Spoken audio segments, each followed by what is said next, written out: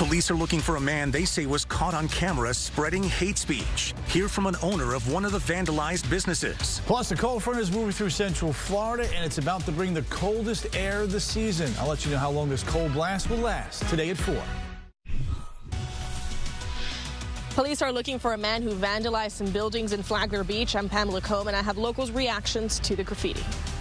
Plus, a former WWE star sentenced in a deadly DUI crash. What she told the victim's family before learning her fate. Tony. And right now, a pattern change is underway. Some of the coldest air of the season will be heading in tonight. I'll take you county by county and hour by hour, all straight ahead. WESH 2 News starts now with breaking news. And that breaking news tonight, a former pro wrestler is heading to prison for DUI manslaughter, but not for as long as the victim's family had hoped. Yeah, WESH Tuesday McDaniel joins us live right now in Daytona Beach, where the sentence was handed down. What's the latest, Dave? Well, it's been more than a year and a half since the pro wrestler Sunny Sytch was basically accused of slamming into the back of a car up in Ormond Beach while she was drinking, according to the authorities, killing 75-year-old Fran Lasseter. Now, after she delivered that, those statements, she also talked a lot about her career as a pro wrestler and the things, the various things she'd done as far as charitable contributions. The family, as they were leaving the courthouse, they said they thought that she basically, on one hand, apologized, but on the other hand, they thought that she developed a false equivalency, kind of making herself a victim in all of this. The de defense had claimed that she had basically a misdiagnosed mental illness issue as well as substance abuse addiction. And again, the judge did come up with 25 and a half total years, which is what the state wanted. But instead of having it being all in prison, it's going to be 17 and a half in prison. Then there will be uh, eight years on the DUI manslaughter and then eight years probation, or seven years on the DUI manslaughter and eight years on probation. Reporting live in Daytona Beach, Dave McDaniel, WESH 2 News. All right, Dave, thank you. Several Flagler Beach businesses have been vandalized with anti-Semitic graffiti, and right now police are trying to figure out who is responsible for it all. WESH 2's Pamela Combe caught up with a business owner who says he was a victim of the hate crime. Police say the suspect's actions were unacceptable and they're asking for help identifying him. Anyone with information is asked to call Flagler Beach Police. Right now we have a cold front moving through Central Florida. You can see we're pretty comfortable right now, but Tony, the coldest air of the season is heading our way. When's it going to get here? You know, you can kind of feel the change. Yeah, it. It's, it's a little bit drier out there. Uh, it's happening now. Then by daybreak tomorrow morning, most of us are going to be uh, in the 40s. Let me take you up towards the Ocala Square right now, summer, and you can see it's pretty. We got some high, thin cirrus clouds, and those clouds will work back in overnight tonight, but the temperatures are still uh, going to fall. So the next couple of hours, even at sunset, temperatures are dropping. Clouds will thicken up here overnight tonight. Bottom line, though, the air is much drier behind this front. Temperatures up north in the mid 60s, down south, low 70s. But with each passing hour, we're going to see more and more negative numbers here as the air gets drier and colder. Uh, wind direction now out of the northwest. Wind speeds here. Anywhere from about 5 to 15 miles an hour. Here come those clouds. They begin to thicken up right around 9, 10 o'clock tonight. And overnight tonight, they'll be in and out most of the night. However, again, look at these temperatures here. 62, 58, 55. If you're still in that holiday uh, shopping mode, you'll need a jacket. It's going to be crisp and cool. Look at these daybreak temperatures now. 42 in Ocala, 45 DeLand, 49 Bithlo, and 49 in Winter Haven. It gets even colder than that waking up Wednesday morning. That story straight ahead. All right, Tony, thank you. Our first warning weather team is always working to keep you ahead of any changes to our forecast. For the very latest updates, go ahead and download that free WESH 2 app and be sure to turn on your alerts. A pest control and lawn service worker in Polk County is accused of exposing himself to at least two customers. 27-year-old Tyler Mountain is in jail after the sheriff's office says two women reported him in separate situations at their homes. Mountain was fired from Massey Services following the complaints. Detectives believe there may be more victims out there. They're asking anyone with information to give them a call. Happening now, DeLand police need your help finding a man wanted on multiple charges, including aggravated battery against a pregnant person.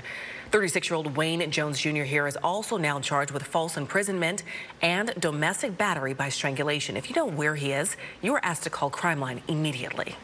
A five-year-old girl has died after a car crash in Auburndale involving a police truck. Yeah, WESH News' Megan Mulatto spoke with the Polk County Sheriff, who says the sergeant involved was actually on his way to help a deputy at the time. Sheriff Judd's message to the public right now, stop if you hear sirens, identify where they are coming from, and then proceed with caution. Now turning to a big development in the war in the Middle East, Israel and Hamas have agreed to extend a temporary truce for an additional two days. This comes on what was the fourth and final day of their ceasefire. Today we just learned 11 hostages have been released by the have been received by the Red Cross and are on their way to Israel. Two American women abducted by Hamas are not believed to be among the hostages released from Gaza. Now, over the first three days of the truce, Hamas released a total of 58 hostages, which were mainly women and children. Israel freed 117 Palestinian prisoners as well. Memorial services are now underway for former First Lady Rosalynn Carter. Her motorcade left her small hometown in Georgia for the Jimmy Carter Presidential Library and Museum in Atlanta this morning, where she is now lying in repose. The motorcade traveled to the Rosalynn Carter Health and Human Sciences Complex at Georgia Southwestern State University. Wreaths were laid at the complex to honor the former First Lady. The procession then continued on to the Carter Presidential Library. The wife of former President Jimmy Carter died a week ago at the age of 96, two days after entering hospice care at home. And right now, members of the public are able to pay their respects during a repose service in the Carter Presidential Library. President Biden and the First Lady are expected to travel to Atlanta for tomorrow's public service. A private funeral service will then be held on Wednesday. Starting Friday, residents in Mount Dora will have the option to go solar. Mount Dora electric utility customers can apply for the Community Shared Solar Program, which gives them the option of having their power be a quarter, half, or fully solar generated. Officials say there had been a lot of interest in this program. There is a fee of about $5 that will be added to your electric bill, but keep in mind that you can save on your overall electric bill. Still to come on Western News at 4, Google is about to start deleting accounts. We're going to tell you why they're doing it and what you have to do to prevent yours from being deleted. Plus, the Central Florida County is investing hundreds of thousands of dollars in an innovative violence prevention program. How a local nonprofit is helping young women grow through a unique mentorship. Next. Closed captioning brought to you by National Floors Direct. We all call Central Florida our home. That's why it's important to stay informed. We begin with breaking news this morning. Because at WESH 2, you're at the center of breaking news. And every morning, we work to keep you informed with all you need to know. We're experts who know how to help you plan for what's ahead giving you the first warning to Florida's changing weather. And what roads you should or shouldn't be on. Because breaking news can be a lot of things. We always keep you at the center of it. WESH 2 News Sunrise, starting at 4.30 a.m. Orange County is investing hundreds of thousands of dollars in its innovative violence prevention program called Credible Messengers. Yes, this month the county hired five more of these unique mentors in our latest Saving Our Streets report. WESH News Marlene Martinez introduces us to She Lion. Gotta love that. Most Thursdays, Amanda mentors at the Community Life Improvement Center at the Ocoee Mall. First Lady Jill Biden just revealed the theme for the White House holiday season. It's called The Magic, Wonder, and Joy of the Season. And the First Lady says the design was inspired by our nation's youth. Each room is designed to capture this pure, unfiltered delight and imagination. To see, you know, the, this season, this time of year, through the wondrous, sparkling eyes of children. The White House expects to welcome about 100,000 visitors during the holiday season. A new analysis and map from the National Oceanic and Atmospheric Administration shows snowfall is declining across the globe. Scientists blame rising temperatures from climate change. A warmer world means precipitation is more likely to fall as rain than snow, and the data shows a 2.7% decline in annual global snowfall since 1973. Now, it's most notable in the area of the or north of the tropics and south of the Arctic. While we might be seeing extreme winter storms in some areas, scientists warn that will decrease. A major concern from the trend is the impact on water supplies from melting snowpack. Okay, so we know we're not getting snow this week, but no. we are getting some of the coldest air we've seen so far this season. Yes, and it, it's kind of been trickling in, Tony.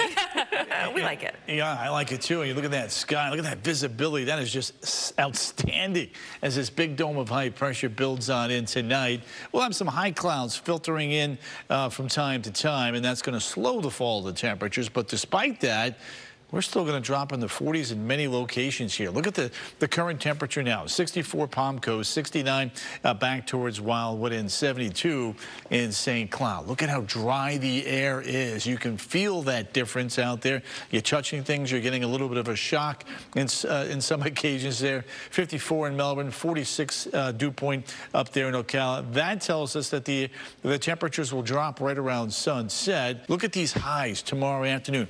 Upper 50s in our northern communities. 60 to about 65 DeLand Sanford over towards St. Cloud, back towards Palm Bay and Melbourne. And then when we take a look at the setup for Wednesday, one more cool day as high pressure begins to slide back to the east. We get a south-southwest wind by the time we get to uh, Thursday and Friday. I think late Friday on into the upcoming weekend, we'll see a little bit of rain. I'll, I'll give you another look at that coming up a little bit later on. So uh, tomorrow afternoon, only 61. The record cool high is 50. Wednesday morning, 45. The record low 34. No chance of breaking that. But again, winter is coming. And then Wednesday afternoon, we'll be running in the mid 60s. So the coldest temperature thus far this season is 53. We're likely to have three consecutive mornings in the 40s with Wednesday morning being the coldest. And we haven't had a, a, night or a morning in the 40s yet. Typically that happens the first week of November. So we're running a little bit behind on that. European computer model through Sunday, not much rain. The American GFS model, however, does bring more rain in. We'll take a closer look at that long range forecast uh, coming up at 5 and 6. So to put it all together here for you, mostly cloudy and cool on Tuesday. Uh, Thursday is our rebound day after a chilly start. We'll get up to 75. We're back in the 80s Friday, Saturday, Sunday, and on into Monday. Rain chances will be on the rise late in the weekend and early next week. All right, Tony, thank you. If giving back is on your holiday to-do list, don't worry, we've got you covered here at WESH 2. We're making it easy for you. WESH 2 Share Your Christmas campaign is back. It's for our 38th year. And this Tuesday, Giving Tuesday, we're hoping you will join us for our day-long telethon and online donation drive, raising money for Second Harvest Food Bank. All of that money that we raise will stay right here in Central Florida, providing food and meals for children, seniors, and families who are barely getting by right now. So join us Tuesday on air and online at WESH.com to donate. We'll be right back.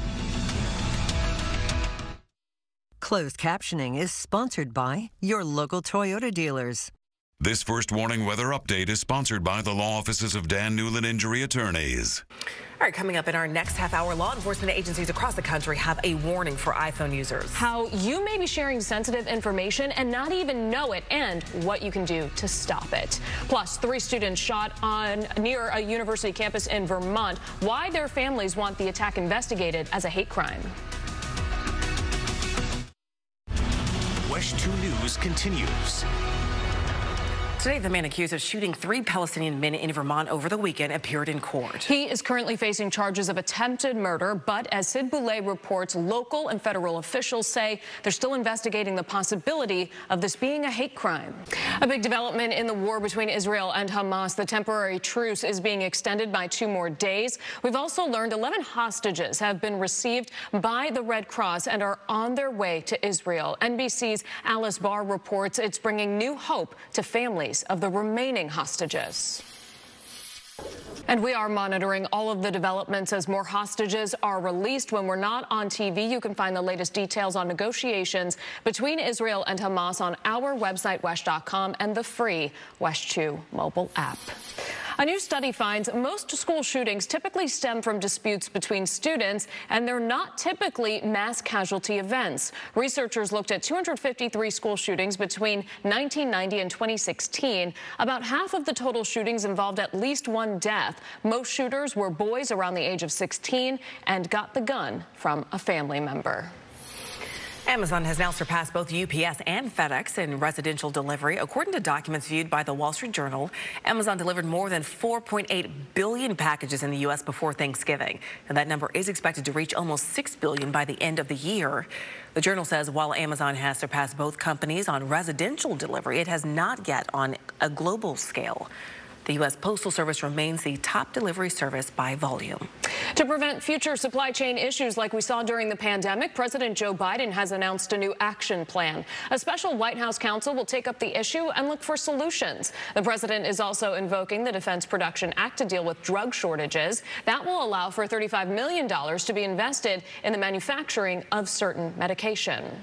Honda is recalling more than 300,000 Accords and HRVs because of a seatbelt problem.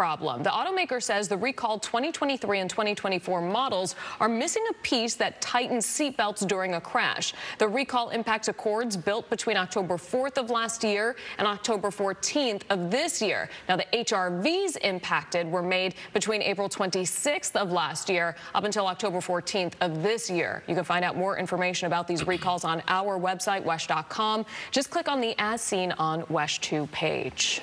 All right, parents, listen up. Several law enforcement agencies here in Central Florida and nationwide, for that matter, have a warning for iPhone users. The new iOS 17 update comes with a name drop feature. This allows users to easily share contact information with other devices that are nearby. You can turn this off by going to Settings, General, AirDrop, bringing devices together, and then turning that switch to off. Meta now facing legal trouble from more than half the country. Attorneys from 33 states are now suing the company for allegedly collecting data from children. They say that Meta knew about more than a million Instagram accounts from users under the age of 13 and then knowingly refused to shut down a majority of them. This lawsuit claims Meta collected the kids' personal information without their parents' consent. Florida is not part of this lawsuit, but has a separate federal suit against Mega, Meta, alleging it misled users about potential mental health risks. If you have a Google account that you haven't checked in years, it might get deleted this week. Starting on Friday, Google will wipe accounts that haven't been active in the last two years. The company says older accounts are more likely to rely on recycled passwords and less likely to use security measures like two-step verification. Those accounts are far more vulnerable to phishing, hacking, and spam. To save your account, all you need to do is log in at least once every two years. All right, we are now less than a week away from the OUC Orlando Half Marathon at Lake Eola 5K, and WESH 2 is your home to watch the races from Lake Eola. But if you're itching to run, Registration is still open for both races. The link is on our website, WESH.com. All you have to do is click the OUC Orlando Half Marathon tab. Now, if you want to run and save some money, WESH 2 viewers who sign up for the 5K can get a $7 discount by using the code WESH2 during registration. Still ahead on WESH 2 News at 4, a lucky man wins the lottery for life. Yes, how a clerk's error helped him win $25,000 a year forever. Plus, it is a type of depression that can happen during the changing of seasons, and some may not even know they have it. The five signs of seasonal affective disorder and how to cope with it.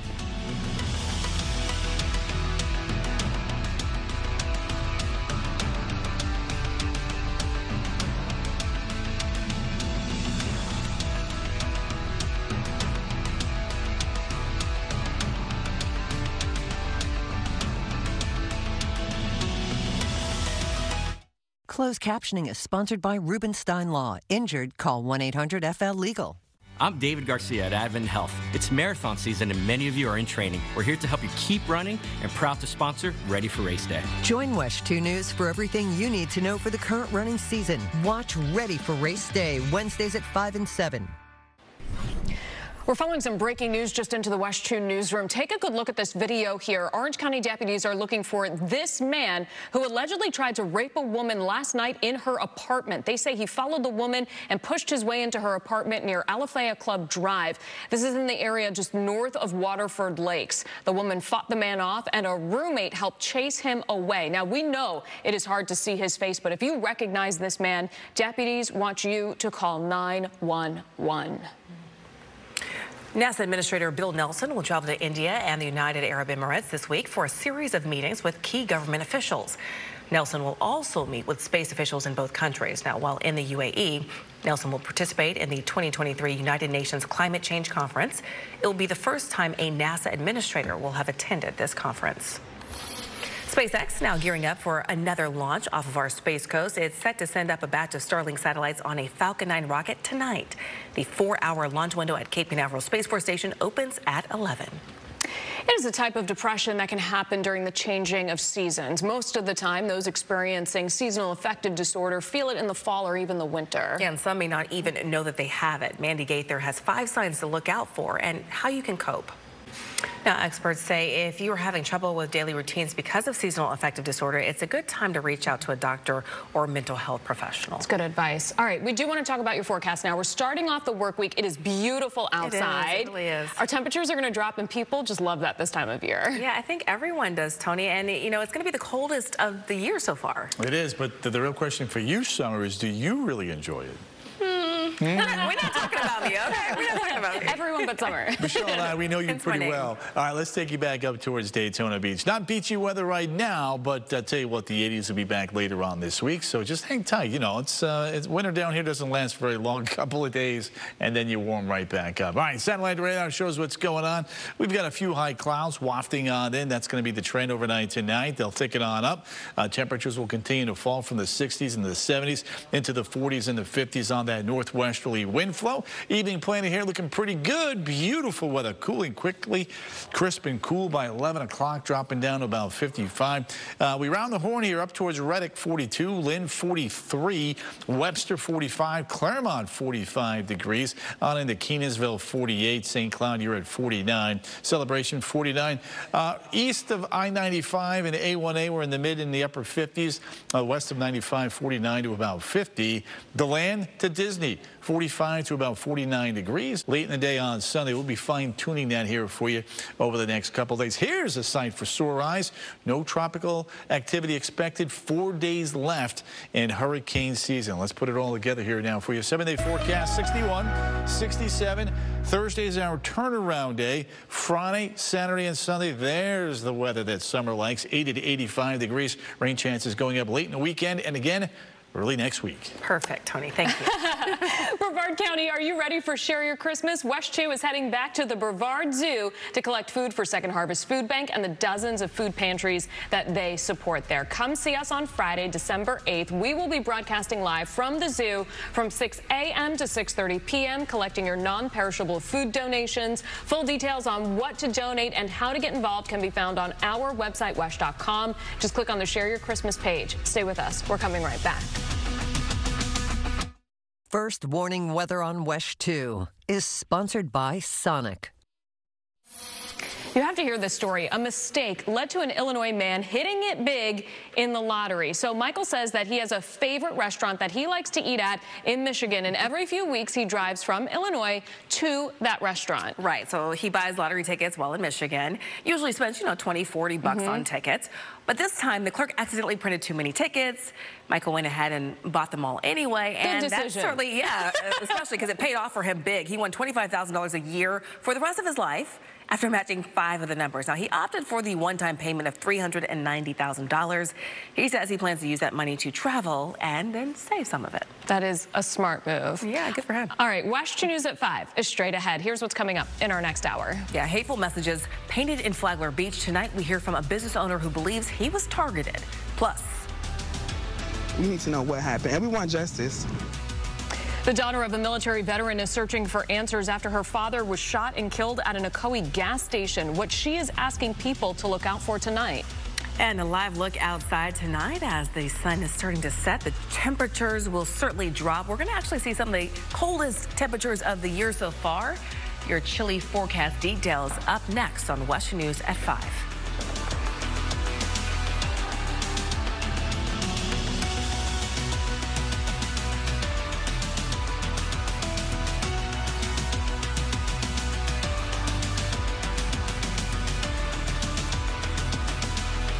This first warning weather update is sponsored by the law offices of Dan Newlin Injury Attorneys.